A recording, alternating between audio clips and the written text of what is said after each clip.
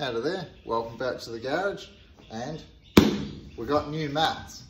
Also, thank you very much to Pat at uh, Fuji Mats down in Melbourne for supplying these amazing mats.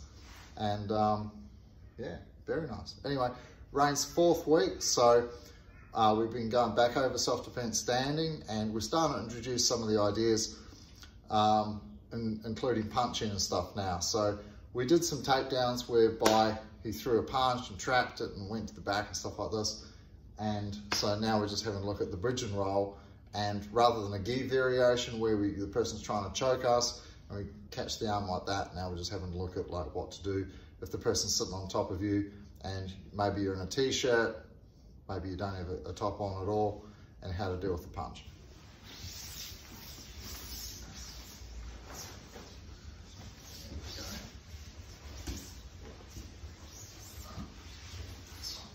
Right, nice.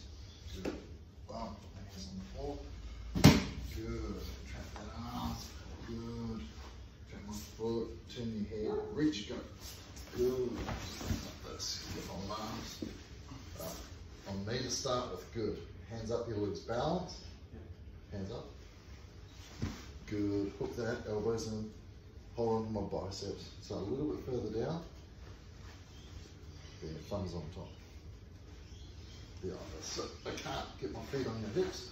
Yeah, mm -hmm. right? So if you push yourself away, for example, from here, I can put my feet on your hips. And now I'm the one that's got control, right? Okay, now I can start looking at doing arm bars and things. So when you're here like this, and you lose balance, that's it's it's important. Yes, I can't get my feet on your hips. I can't get my legs involved here. Right, very good. Okay.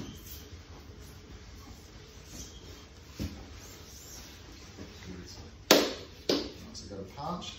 Good. Trap it. Nice. Trap the foot. Good. Good. Try and close. Good. Lose your balance. Good. Taking my feet on your hips. Very nice. Good, good, good.